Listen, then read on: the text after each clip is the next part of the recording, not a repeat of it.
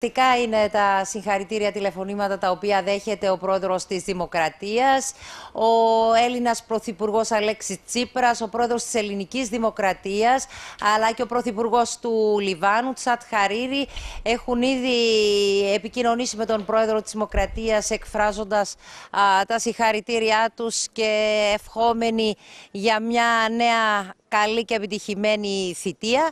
Να πούμε επίσης ότι είναι θέμα δεκαλέπτου ενός τετάρτου να αναχωρήσει από το Προεδρικό ο Νίκος Αναστασιάδης για το επιτελείο, όπου εκεί του επιφυλάσσουν θερμή υποδοχή. Για οτιδήποτε νεότερο θα επανέλθουμε που βλέπουμε κυρίες και κύριοι δίπλα από την Πέτρα, επενθυμίζω ότι είναι από το επιτελείο Αναστασία. Εκεί, τον, εκεί τον περιμένουν, εκεί είναι συγκεντρωμένος ο κόσμος που βλέπουμε τώρα στις οθόνες. Ναι, Πέτρα, συγγνώμη, ώρα. Πάντως, ε, ε, το Προεδρικό άρχισε να αδειάζει υπό την έννοια ότι όλοι πλέον φεύγουν για να συμμετέχουν σε αυτή τη μεγάλη γιορτή που στείνεται και καταλαβαίνουμε θα συνεχιστεί και στο Ελευθερία. Ευχαριστούμε πάρα πολύ την Πέτρα Αργυρού. Να καλωσορίσουμε τον κύριο Παναγιώτου.